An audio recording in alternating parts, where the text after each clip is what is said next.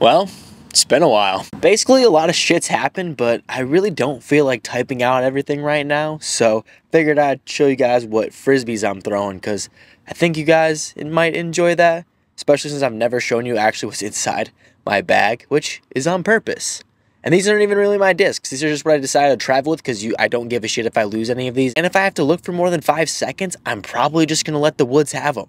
So yeah, let's just get into throwing some frisbees. That's all I want to do, really. Like I said, guys, these discs aren't really in my bag per se. Some of them are, don't get me wrong, but a lot of the ones I really don't want to lose are back in the van right now. Uh, and I have just literally just popped out. So currently I am in Michigan waiting to go to D-Glow, but I'm at a different stop right now.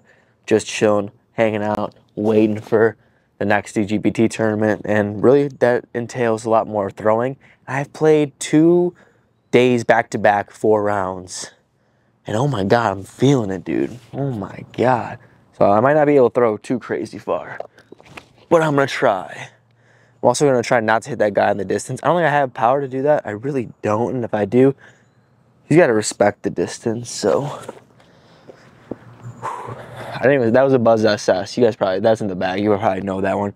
This Buzz, the only reason I throw this specific one, or a Buzz in general, because let's be real, I don't fucking need to throw a Buzz, it's because the man Dylan Cease gave it to me one time. I played with him, and I do really bad. I really don't ever throw that disc. My form also feels really gross, so that's fun. I have an Essence, a little bit more stable than I want an Essence to be. I want this thing to just ride and hold to the right, and it doesn't really do that too great. Okay, maybe it does it all right. Fuck, I don't know what I'm talking about. Pan, that's not anywhere close to him, right? That's still hella short. That's, all right. I have a Mockingbird, and the only reason I have a Mockingbird or any Lone Star disc in general is because my boy Connor O'Reilly gave me this one, and it's got a stamp on it. And you got to hook up the homies when you can. So that's the only reason I ever would ever throw a Lone Star. Oh man, that was so bad. That was a really bad throw. All right, here we go. T-Bird 3. This has been in my bag, I think, for a little over a year now. I have kind of walked away from it a little bit, but I still trust it. like that should be just man, I don't I don't know if I'm like losing power or whatever. No, that was fine. I just remember it being so much flippier. Halo T-Bird 3 that it just should do that, except don't give me that S, it just fades out a little sooner. See, it's a little smaller S, fade out, fade out. That's if there's a little bit more wind or whatever. A lot shorter too. I'm, I do not even want to measure these because they're gonna be so short. Brand new 2021 Sexton Firebird. When I mean brand new, I mean brand new that I just got because it came straight from the U section. But watch, this is a Firebird. Sexton Firebird right here. Trying to throw it flat.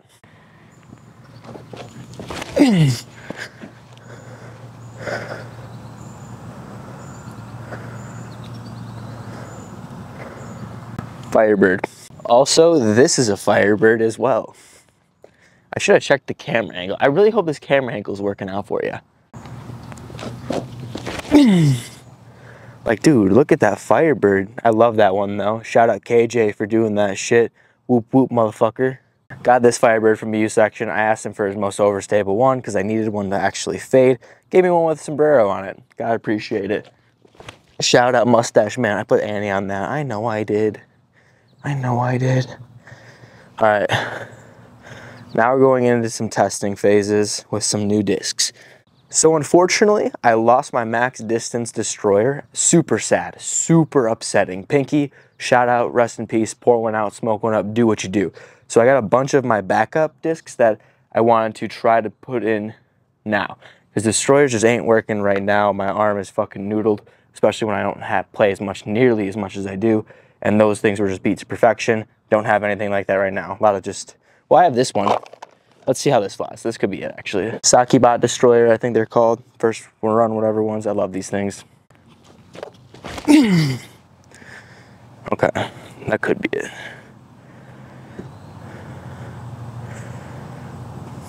I like that flight. Okay, we're gonna see if I can wreck. Oh, and then I have this one. Ink Me Dies. This one's more beef. This one's my new Annie Destroyer, but I think I'm trying to lean to this more force over rather than hyzer flips, especially on some lines. I gotta practice it. Wow, okay. I'm so scared of hitting the guy over there. I don't think I can throw that far. Brand new wild honey. See how it flies. Pretty much out the box. I played like two, three rounds with it. Super flippy. It might come out. Come on. Come out, please. Come out, please. Ooh. Smashed it. Try this new double steady honey. See if I can get this one to flex back because my other one is super flippy nowadays.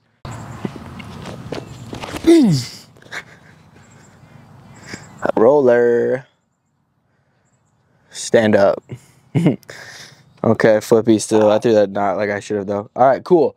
Throwback to the days that the DDX used to be my main distance driver. We got a glow one. Shout out Choi. It's been months, but I'll throw it now for you. Let's see if I can remember how. This has been my go-to like hyzer flip disc once I learned how to not throw like a bitch.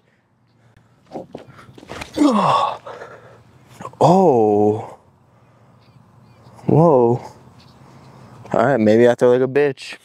Go with the Wraith, but this one's special to me. He's got glow tape on it because I don't want to take it off yet. Signed by a bunch of FPO players when one time I went to USWDGC. Shout out that time. Man, I didn't even maybe putting this on like hyzer a bunch or I like bad. Fuck. We're out with the Clash Discs Vanilla. It's actually Swiss cheeses that he gave me to try to beat in. So I should probably put this in the bag just to get it beat up for him. All right, cool.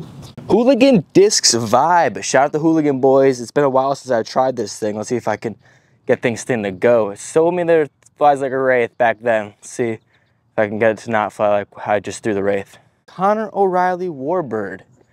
See if I can get this thing to pump.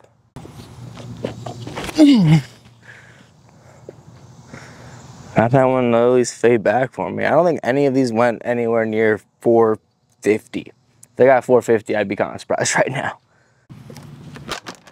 Well, some of those discs might make my bag. Who knows? Pretty much just what I grab for the next round, and three of them will be lost. So tune in next time on Birdogie when I have time to actually make a video. Hopefully, should be more now that the World Championship, you, know, just rushes over maybe I'll do more videos like this because I'm lazy and they seem to be easier and not spend all my time typing away. However, some cool shit has happened so far on this trip that I need to explain. And I'll get on that. I promise. So make sure to subscribe to Birdogie and I'll be more entertaining next time and that'll be more crude and offensive. Peace.